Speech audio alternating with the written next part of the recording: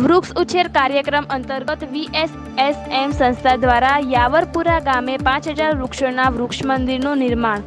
વૃક્ષો વાવો, વરસાદ લાવો અંતર્ગત આજે ડીસા તાલુકાના યાવરપુરા ગામે વિચરતા સમુદાય સમર્થન મંચ અને ગ્રામજનોના સંયુક્ત ઉપક્રમે યાવરપુરા સ્મશાન ભૂમિમાં સંસ્થાના ફાઉન્ડર શ્રી મિત્તલબેનના હસ્તે મંત્રોચ્ચાર દ્વારા વૃક્ષ પૂજન કરીને વૃક્ષો વાવવાની શુભ શરૂઆત કરાઈ હતી. વૃક્ષો વવાયા બાદ સંસ્થા દ્વારા ડ્રીપ ઇરિગેશન સિસ્ટમ લગાવશે અને બે વૃક્ષ મિત્રોને ત્રણ વર્ષ સુધી માસિક મહેનતાણું આપીને નિયુક્ત કરાશે. દર મહિને સંસ્થાના સંયોજક શ્રી નારાયણ રાવળ અને એમની ટીમ દ્વારા ટ્રીટમેન્ટ અને સીધી દેખરેખ રખાશે. સ્મશાનમાં દેશી ગુણના કણજી, લીમડો, બોરસલી, ગરમાડો રામબાવડો વડ, ઉમરો, જાંબુ, સાદલ જેવા વૃક્ષો પક્ષીઓના ખોરાકને ધ્યાનમાં રાખીને અને વરસાદ લાવવામાં મદદરૂપ થાય તેવા વૃક્ષો રોપવામાં આવ્યા હતા.